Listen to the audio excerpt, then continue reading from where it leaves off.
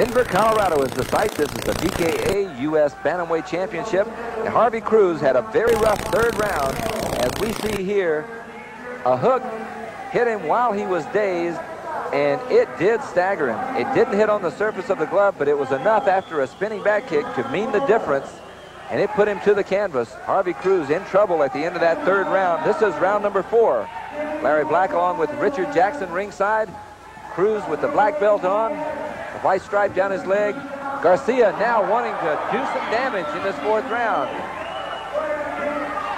Crews complaining that one of those kicks might have landed while his leg was up in the air, a little bit low. Garcia looking much more confident.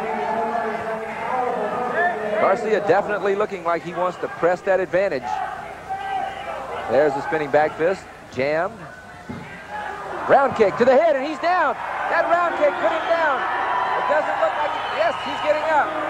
I thought he was out of it the way he covered his eyes, but he is back up, receives the mandatory eight count, and is ready to go. Harvey Crews does not want to be in this ring at this time.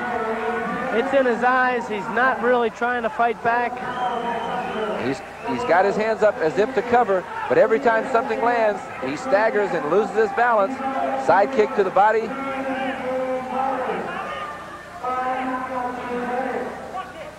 Every time Garcia mounts an attack, Crews just backs up and covers up. There's a left hook. He's down and a front kick to the face. He's on the canvas again. That's the second knockdown in this round. Crews is trying to get back up. His trainer is saying quit. He's saying, I'm fine. I want to continue. I'm not out of it. I still want to continue. A spinning back fist to the back of the head.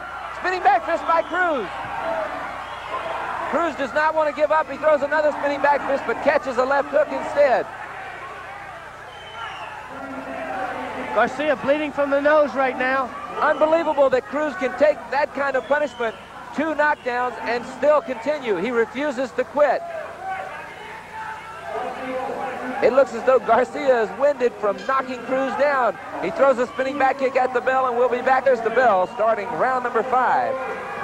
And Crews starts out with a flying sidekick to let Garcia know he is not ready to go down. This is the round that Crews said he was going to knock out Garcia if he did not knock him down in the first. Crews looks more confident in this round. He's coming out, he's bouncing on his feet. He's got his hands high. Back to the fast hand combinations. Mixing kicks in from very close range. That's hard to do. Garcia. Ducks under that spinning kick, but the right hand by Garcia landed. Crews seems to be holding on. He, another right hand. Crews was able to jam that flying side kick.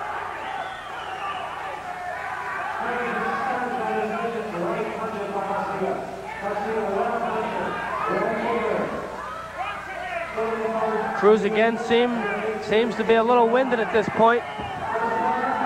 Both these fighters know they're fighting for the Bantamweight Championship of the United States. Right now that title is vacant. Either one of these guys could be the U.S. champion, and they don't want to give up. But Crews definitely is stunned from the earlier rounds where he has hit the canvas a total of three times. He lost his footing there. Spinning back fist on top of the head. His eyes crossed, and he went straight down.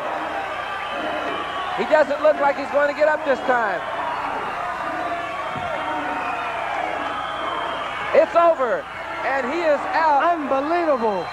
At 1 minute 30 seconds in the fifth round, a knockout by Felipe Garcia, the new United States champion.